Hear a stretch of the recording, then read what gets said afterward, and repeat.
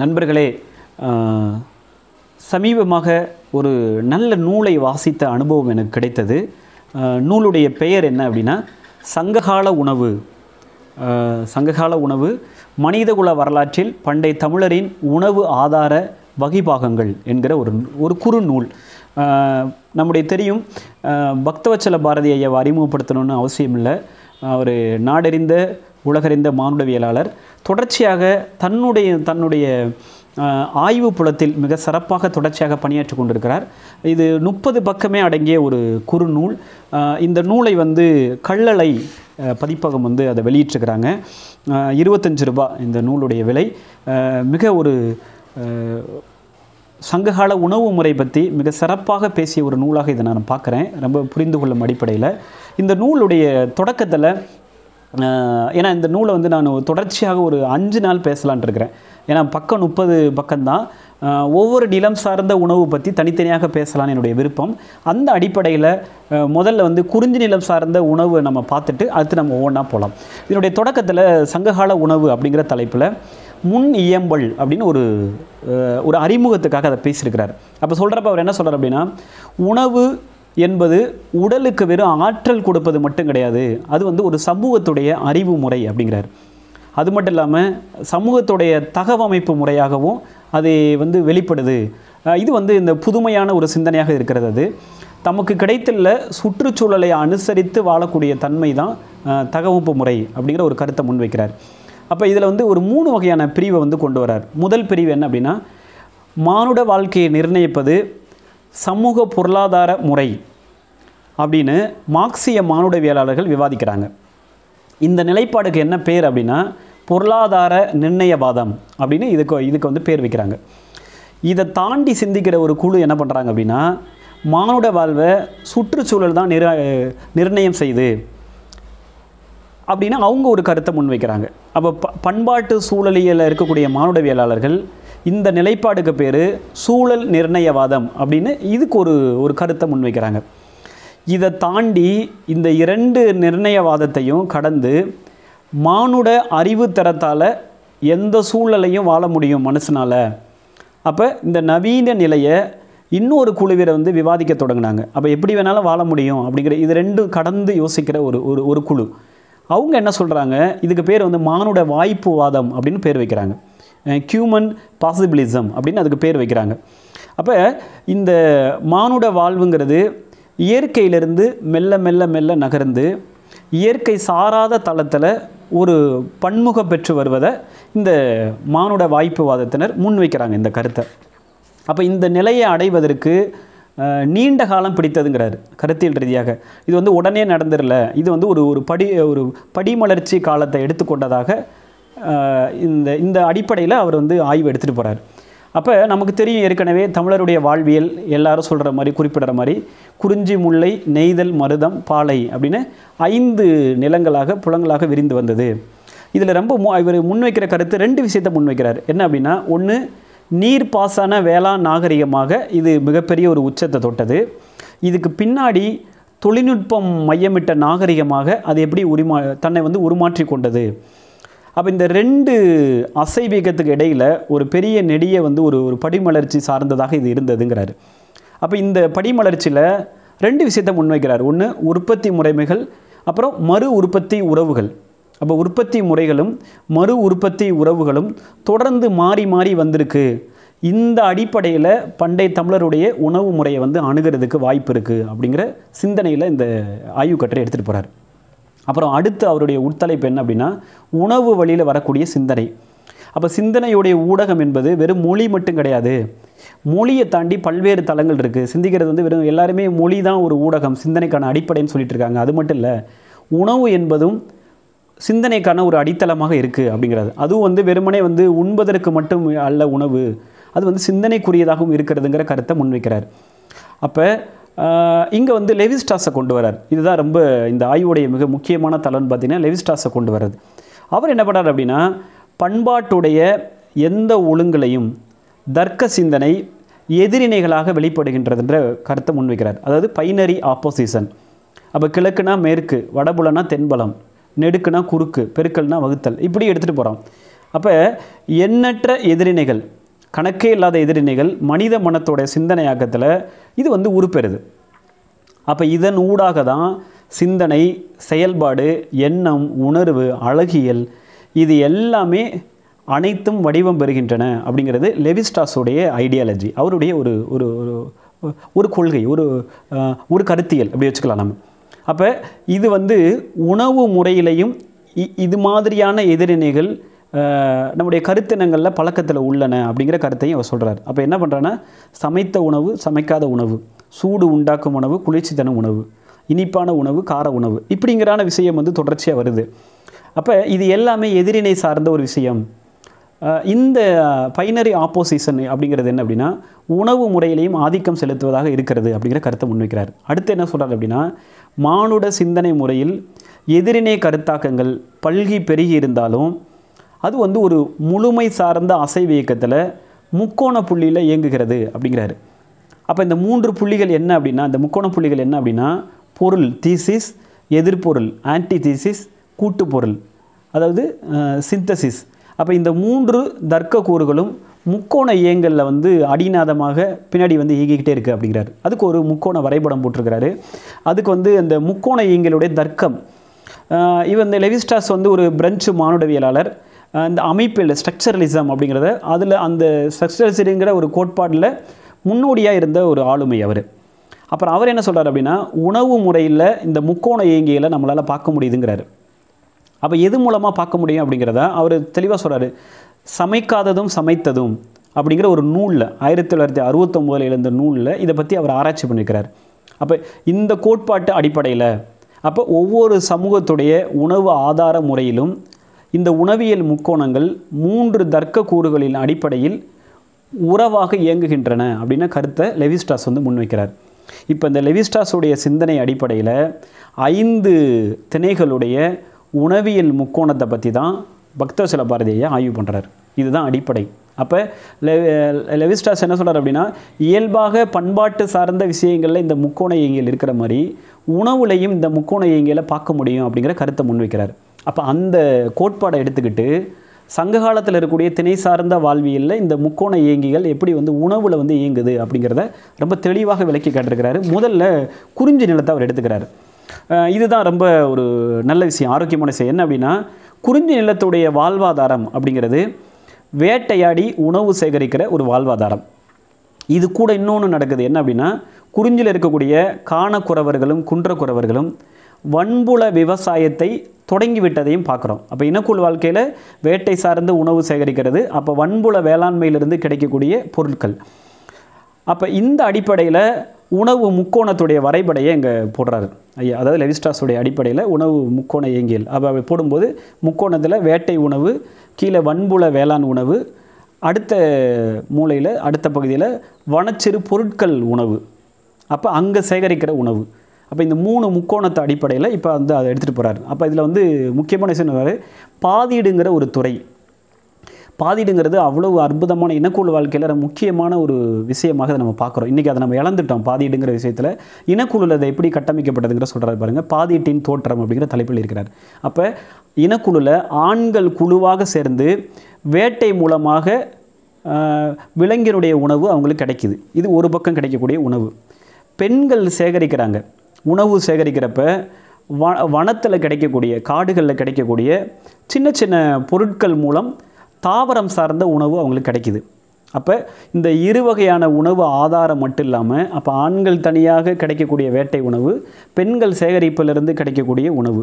இது மட்டும் இல்லாமல் வன்புல வேளாண்மை வேளாண்மை செய்வது மூலமாக அவங்க விளைவிக்கிறாங்க. கா கா காட்டில் வந்து விளைவிக்கிறாங்க மலை மலையில். அங்கே என்ன அப்படின்னா திணை வரகு ஐவன நெல் அவரை எள்ளு வெண்சிறு கடுகு இஞ்சி வாழை முதலான பயிர்களும் அவங்களுடைய உணவு உணவு ஆதாரத்தை இன்னும் கொஞ்சம் வந்து ஒரு அப்படி விரிவாக்குச்சு.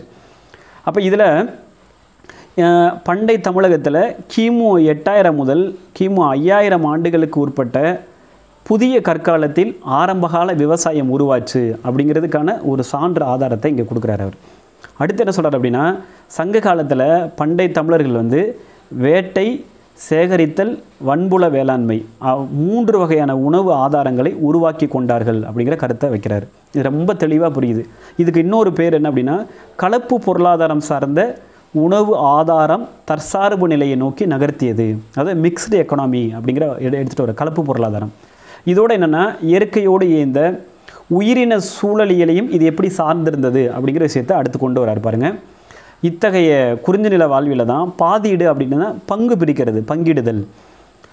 ஒரு ஒரு தலையான பொருளியல் கூறாக குறிஞ்சி நிலத்தில் இது இருந்ததுங்கிறாரு. பாதீடுங்கிற ஒரு வழக்கம் வந்து இருந்தது. அப்போ வேட்டையில் கிடைத்த இறைச்சி பெண்கள் குறிஞ்சி நில பெண்கள் மூலமாக கிடைத்த சேகரித்தல் மூலமாக கிடைக்கக்கூடிய காடுபடு பொருட்கள் இது எல்லாரையும் அவங்க வந்து யாராவது தலைமையாக வச்சு பங்கிட்டுக்கிட்டாங்க அப்படிங்கிறாரு. இதுக்கு சான்று பாடல்கள் கொடுக்குறாரு. நற்றினையில் முந்நூற்றி முப்பத்தாறாவது பாடல். காணவன் வில்லின் தந்த வெண்கோட்டு ஏற்றை புனையிரும் கதுப்பின் மனையோள் கெண்டி குடிமுறை பகுக்கும் நெடுமலை நாட அப்படிங்கிற பாடல் கொடுக்குறாரு. இதில் என்னென்னா அந்த பகுக்குங்கிற வார்த்தையை நம்ம அது பார்க்குறோம். அதே மாதிரி இன்னொரு நற்றினை பாடலை எண்பத்தஞ்சாவது பாடலை குறிப்பிட்றார். காணவன் எய்த உளவு மான் கொழுங்குறை தேங்கமிழ் கதுப்பின் கொடிச்சி கிளங்கொடு காந்தல் அம் சிறுகுடி பகுக்கும் பகுக்கும் பாதீடு. அப்போ இந்த பாதீட்டு முறையை இந்த பாடல் வந்து நமக்கு வந்து எடுத்துக்காட்டுது. அப்போ குறிஞ்சி நிலத்தில் உருவான வேட்டையாடி உணவு சேகரிக்கிறதுங்கிறது ஒரு குழு வாழ்க்கை சார்ந்தது. அப்புறம் இனக்குழு சமூகத்தில் ஆண்கள் குழுவாக வேட்டைக்கு சென்றார்கள். அப்போ வேட்டையாடும் போது அதை ஒரு வழக்காக சொல்கிறார் பட்டா பட்டா பாக்கியங்கிறாரு. உ- உடனடியாகவும் கிடைக்கும் சில நேரம் கிடைக்காம போகும் தாமதமாகவும் கிடைக்கும் அந்த வேட்டை சார்ந்த உணவு முறையில். பெண்கள் குழுவாக சேர்ந்து உணவு சேகர சே- சேகரிக்கும் போது இது நிலையான உணவு ஆதாரத்தை கொடுத்ததுங்கிறாரு. அப்போ காட்டுக்கு போனால் ஏதாவது கிடைக்குங்கிற ஒரு நம்பிக்கையோட அவங்க வந்து குடியிருப்புக்கு திரும்பாங்க. ஏதாவது ஒன்று கிடைக்கும் எடுத்துகிட்டு வருவோம் அப்படிங்கிறது இந்த குழுவினர் அனைவருமே ரெண்டு வகையான உறவு அடிப்படையில் உணவு ஆதாரத்தை சேகரித்தாங்க ஒன்று கால்வழி உண கால்வழி வரையக்கூடிய உறவு மனவழி சார்ந்த உணர்வு மனம். அப்போ உணவு உறவு வழியில் உணவு ஆதாரம் எப்படி வந்து உருவாக்கப்பட்டதுங்கிற விஷயத்தை ரொம்ப தெளிவாக முன்வைக்கிறார். அப்போ இங்கே ஈட்டிய இறைச்சி வேட்டை மூலமாக கிடைக்கும் இறைச்சி காய் கனி இலை தலை பட்டை மா பலா கொட்டை தேன் கிழங்கு முதலான வனைச்சிறு பொருள்களை இந்த வனத்தில் கிடைக்கக்கூடிய மொத்த பொருள்களையும் குடி பெண்டிராகக்கூடிய குடிச்சி குடிச்சி வந்து சிறுகுடியில் வாழக்கூடிய பலருக்கும் எல்லாரையும் அழைச்சி பகுத்து கொடுத்துருக்குறாங்க. அப்போ குறிஞ்சி நில வாழ் வாழ்வியலில் பாதீடு என்பது ஒரு தலையான வாழ்வியல் பொருளியல் பண்பாக எப்படி மேலோங்கி இருந்தது அப்படிங்கிற கருத்தை வைக்கிறார். அப்போ இதில் இன்னொரு விஷயம் என்னென்னா இப்படியான அவங்க வாழ்வில் வாழ்க்கையில் பாதீடு முறையில் மிகையான பொருட்களோ இன்னும் கொஞ்சம் கூட அதிகமாகவோ உபரியாகவோ சேமிப்போ அவங்க கையில் எப்பயுமே வச்சுக்கிறது கிடையாது. அப்போ அன்றாட உணவுக்கான ஆதாரங்களை ஒவ்வொரு நாளும் அவங்க ஈட்டிக்குவாங்க. அது வேட்டையாடி சேகரிக்கக்கூடிய பொருளாதார முறையை அதுக்கு இன்னொரு பேர் என்ன அப்படின்னா பிழைப்பு ஆதார பொருளாதாரம் அப்படின்னு முன்வைக்கிறார் ஓகே. சப்சிஸ்ட சப்சிஸ்டன்ஸ் எக்கனாமி அப்படிங்கிறாரு. அப்படின்னு மாநிலவியலாளர்கள் அதை எப்படி வகைப்படுத்துவாங்கன்றாரு. அப்போ இத்தகைய இனக்குழு வாழ்க்கையில் உறவு முறை சார்ந்த உற்பத்தி முறை காணப்பட்டது. இந்த உறவு முறை சார்ந்த உழைப்பில் வந்து பாதியிட ரொம்ப அடிப்படையாக இருந்தது. அப்போ கூட்டாக சேர்ந்து சேகரிக்கிறது அவங்களே பிரிச்சுக்கிறது. இதில் எந்த உபரியும் கிடையாது மிச்சமும் கிடையாது அப்படிங்கிற ஒரு உணவு முறை. அப்போ இது வந்து ஆதி பொது உடைமை சார்ந்த விஷயத்தையும் சொல்லுது. சமூக சமத்துவத்துக்கு எப்படி ஆதார சுருதியாக இருந்ததுங்கிற விஷயத்தையும் இவர் வந்து ரொம்ப தெளிவாக சொல்லியிருக்கிறாரு. அப்போ குறிஞ்சியில் வேட்டாடி உணவு சேகரித்தல் தான் வந்து முதன்மையான வாழ்வாதாரம். அந்த வேட்டையாடி உணவு செய்யக்கூடிய நிலை இதுக்கு முன்னாடி மனித சமூகத்தில் எப்படி வேட்டையை மட்டுமே நம்பி வாழ்ந்த ஒரு கட்டம் ஒன்று இருந்ததுங்கிற கருத்தையும் இங்கே வைக்கிறார். அப்போ இது வந்து இடைக்காலத்தில் இது வந்து காணாமல் போயிடுச்சு இது வந்து விடுபட்டுருச்சு. அப்போ உணவு தேடி அலையக்கூடிய சமூகமாக இந்த சமூகம் வந்து மாறிடுச்சு. அப்போ இது சிறு கூட்டமாக உணவுப் பொருளுக்காக தேடி அலைபவர்களாக இருக்கிறாங்க. இப்போவும் ஒரு சான்று கட்டுறார். ஆப்பிரிக்காவில் இருக்கக்கூடிய கலகாரி பாலைவனத்தில் வாழக்கூடிய குங் புஷ்மன் போன்ற மிக சில குடியினர் சிறு கூட்டங்களாக தொடர்ந்து இடமிட்டு இடமாறி உணவு தேடுபவர்களாக உள்ளனர் அப்படிங்கிற சான்றையும் காட்டுகிறார். அப்போ இந்த தேடி அளவுக்கூடிய உணவு தேடி அலையக்கூடிய வேடர்களுடைய நிலை சங்க காலத்தில் இருந்த தமிழ் வேடர்கிட்ட கிடையவே கிடையாதுங்கிறாரு. காணப்படவே இல்லைங்கிறாரு. அப்போ காணவர் வேடர் குறவர் எ எய்னர் இது வந்து குறிஞ்சி நில சார்ந்த குடிப்பெயர்கள்.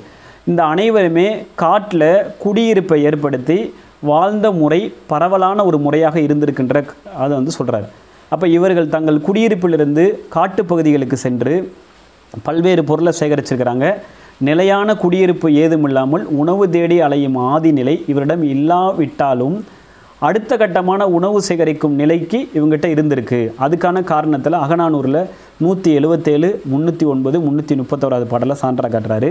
பெரும்பான் படையில் எண்பத்தொம்போது தொண்ணூற்றேழாவது அடியை வந்து சான்றாக காட்டுறாரு.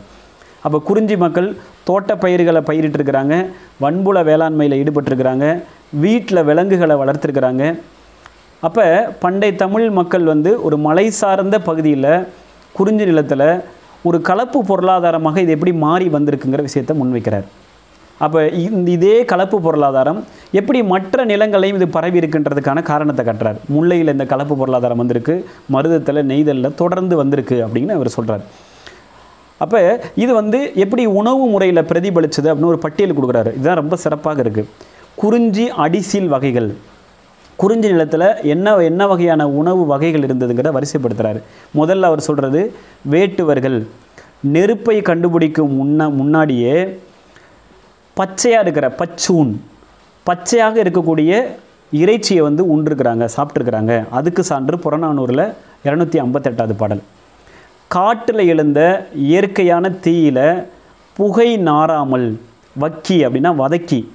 வதக்கி விலங்குடைய தோல் மயிர் மயிர் போக சிவி சிவின்னு போட்டிருக்க. சிவி அது சிவிங்கிறது வார்த்தை. இறைச்சியை உண்டனர். அதுக்கப்புறம் என்ன பண்ணிக்கிறாங்க? நெருப்பில் சுட்டு தின்னக்கூடிய அந்த இறைச்சியை தின்னக்கூடிய ஒரு முறையை வந்து உருவாக்கியிருக்கிறாங்க. புறநானூரில் நூற்றி ஐம்பதாவது பாடல் முந்நூற்றி பத்தொம்போது முந்நூற்றி இருபத்தஞ்சு. இதுக்கு எல்லாமே சான்று பாடல் கொடுத்துருக்கிறாரு. அதான் இன்னும் ஆச்சரியமான விஷயம். சூடான பாறை மேலே இறைச்சியை இட்டு வாட்டி சாப்பிட்ருக்குறாங்க அது மட்டும் இல்லாமல் காட்டு தீயும் பாறையின் சூடும் நெருப்பை கொடுக்கும் தீக்கடை கோலை கண்டுபிடிக்கிறதுக்கு உதவியாக இருந்தது. அதுக்கான சான்று புறநானூறு பாடலை எடுத்து காமிச்சிருக்கேன். முந்நூற்றி பதினஞ்சாவது பாடல். அடுத்த கட்டமாக இறைச்சியை நெய்யில் இட்டு பொறித்து சாப்பிட்ருக்குறாங்க நெய்யில் பொரித்த இறைச்சிக்கு என்னென்ன பேருங்கிறத கொடுக்குறாரு. வேவை வரை வாட்டு செதுக்கன் அப்படிலாம் பேர் வச்சு அழைச்சிருக்காங்கன்றது காரணத்தை சொல்கிறாரு அப்புறம் இறைச்சியை சூட்டுக்கோளில் கோத்து தீயில சுட்டு சாப்பிட்ருக்குறாங்க இது வந்து புறநராட்சிப்படையில் அந்த அதுக்கான சான்று கொடுக்குறாரு.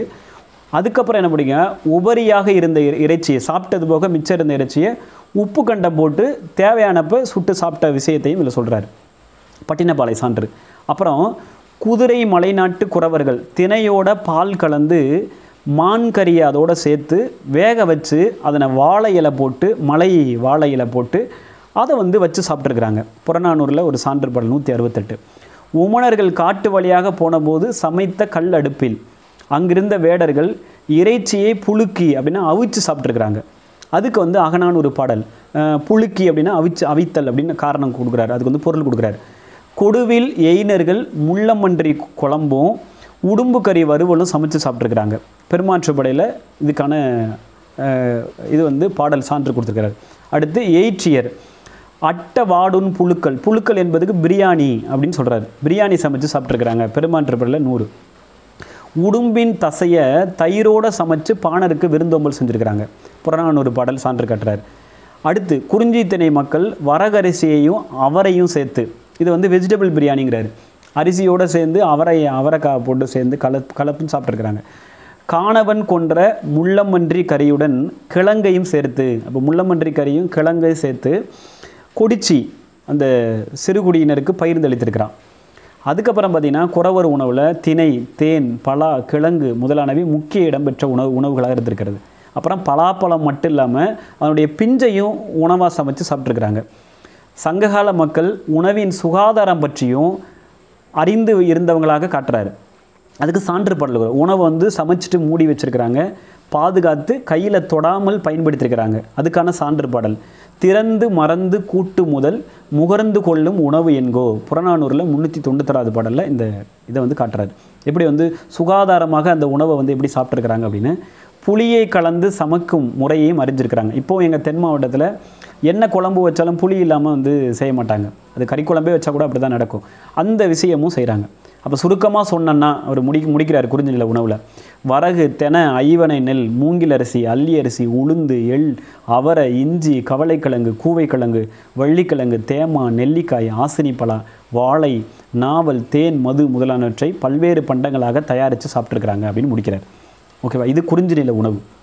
இதில் என்ன நம்ம பார்த்தோம்னா இன்றைக்கும் நம்ம வந்து இது குறிஞ்சி நிலை மட்டும் இல்லாமல் எல்லா நிலங்களுக்கான உணவாகவும் நம்ம இதை பார்க்குறோம் இன்றைக்கி மருத நிலத்திலே நம்ம சாப்பிட்டுட்டு இருக்கிறோம். பாருங்கள் பச்சையாக இறைச்சியை சாப்பிடுவது வதக்கி சாப்பிட்றது சுட்டு இறைச்சியை சாப்பிடுவது வாட்டி சாப்பிடுவது பொரித்து சாப்பிட்றது சூட்டு கோலால் கோர்த்து அதை சுட்டு சாப்பிட்றது உப்பு கண்டம் வந்து சுட்டு சாப்பிட்றது வேக வச்சு சாப்பிட்றது அவிச்சு சாப்பிட்றது வறுவல் பண்ணி சாப்பிட்றது குழம்பு வச்சு சாப்பிட்றது பிரியாணி. அதில் வந்து பார்த்திங்கன்னா அசைவ பிரியாணி இருக்குது வெஜிடபிள் பிரியாணியும் செஞ்சு சாப்பிட்ருக்குறாங்க அப்போ கிழங்கோட சேர்த்து கறியை வச்சு சாப்பிட்ருக்காங்க இப்போ நம்ம மலையாளம் கேரளாவில் பார்க்குறோம் கிழங்கை வந்து கறியோடு வச்சு சாப்பிட்றது அப்புறம் வந்து இயற்கையான விளைநிலத்தில் விளைஞ்ச பொருளையும் வந்து உணவை வந்து சாப்பிட்ருக்குறோம் ரொம்ப முக்கியம் உணவை பாதுகாத்து சாப்பிட்டதுக்கானமும் காரணமும் நம்மக்கிட்ட இருக்குது மூடி வச்சு சாப்பிட்றது தொடாமல் சாப்பிட்றதுக்கு முன்னாடி தொடாமல் இருக்கிறது இப்படியான பாதுகாப்பும் இதில் இருந்திருக்குன்னு காட்டுறாரு. இதில் வந்து ஒரு முக்கோண முறை இருக்குது அப்போ வேட்டையில் கிடைக்கக்கூடிய சேகரித்தல் உணவு இறைச்சி சார்ந்த விலங்கு சார்ந்த இறைச்சி